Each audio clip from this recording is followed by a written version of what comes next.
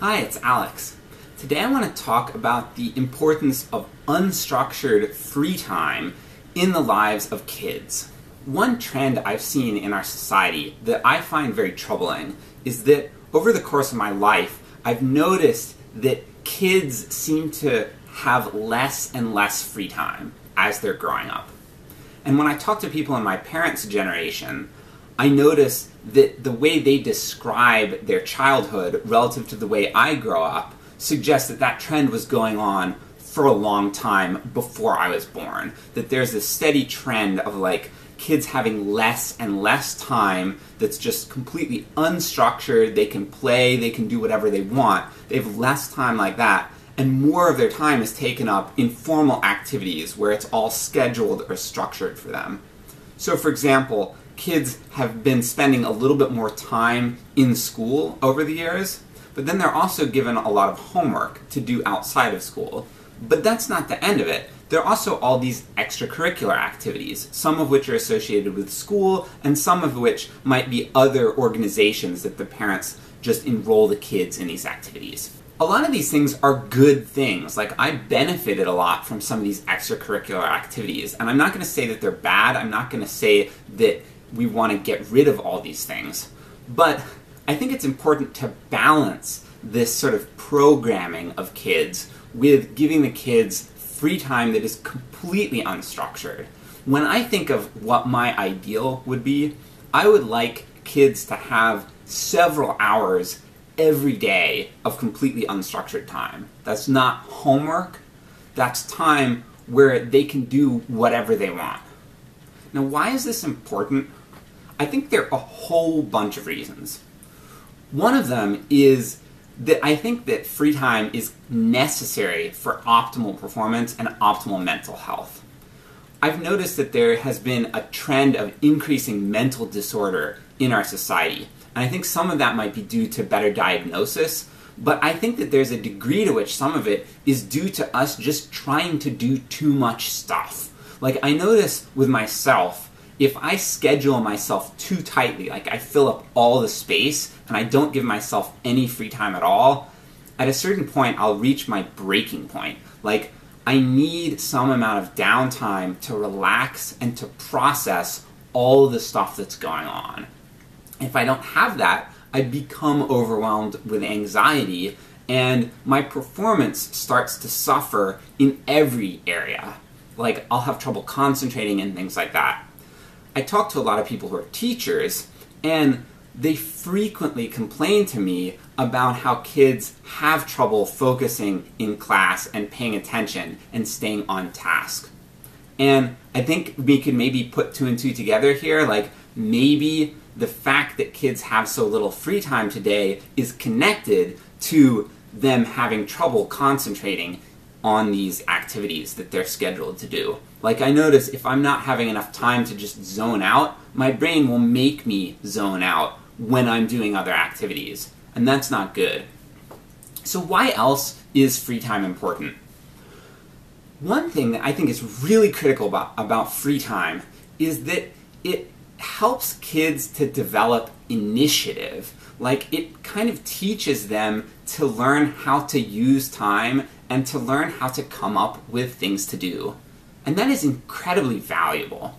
It's valuable for like having fun so you're not just getting bored, but it's also valuable from a perspective of productivity and like career skills, life skills. I've talked to a lot of people, business owners and managers who hire employees, and I've talked to them about what qualities they look for in employees. And one thing that I hear people express a lot is that they find it hard to find employees who take initiative readily. Like, who can come up with useful things to do without being instructed to do them. And I've been in workplaces where I've done this sort of thing. Like, I've finished my work, and instead of just going right to my boss and like asking them for something to do, which might actually be imposing on them, it might be distracting them, creating more work for them. Instead of doing that, I look around me and I look at what I've been doing and I start finding things that I can do. finding ways to save money or ways to save work later on for myself or for others, way to, ways to help my coworkers, things like that. And I've talked to people who've worked in different jobs, like I've had friends who worked in jobs and they take on those sorts of tasks those sorts of responsibilities of their own initiative. And I notice that those people are usually the ones who are most likely to get promotions, to end up in managerial positions, or to be earning more money. And I think it's because they're providing more value to the businesses they're working in. And how do you develop this sort of skill? I certainly feel like I didn't develop it by following instructions or by doing homework, doing worksheets, doing what I was told to do in school. I think that I developed this sort of skill by having unstructured time and by having to figure out what I wanted to do. I noticed that in that time I often would take on big, ambitious projects that were much more ambitious than anything I was ever given in school. For example, uh, in high school I started programming a chess program I started programming at the age of eight, by the way. That's another thing that I learned completely on my own during that free time, because I love computers. I started programming this chess program, and I got to the point finally where it could beat me. And I'm like, that is freaking awesome. I wrote this program that could beat me. It was kind of terrifying, and then I stopped working on it at that point.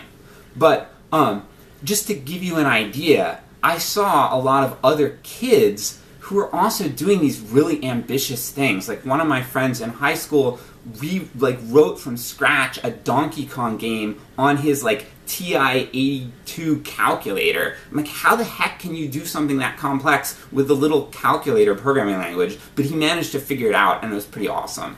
So, if you give kids unstructured time, then you don't know what they're going to do with it. But I think that there's so many different ways it can help them.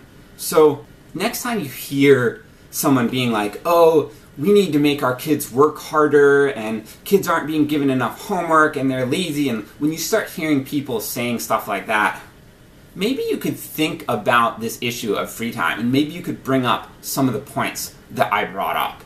Because I think that we are way past the point of kind of diminishing returns for scheduling kids with more stuff to do. And I think a lot of these arguments of kids needing to do more and needing to work harder is kind of bullshit. I think that what we really need to do to help them the most and to help our society the most is to give them more free time. I think that would be really, really beneficial in a wide range of different ways. So I hope I've challenged some of these ideas. Uh, and as always, I would love to hear from you if you have something to add, something to something you disagree with, uh, a question, please comment. And I always really appreciate it when people share my videos or subscribe. Thank you.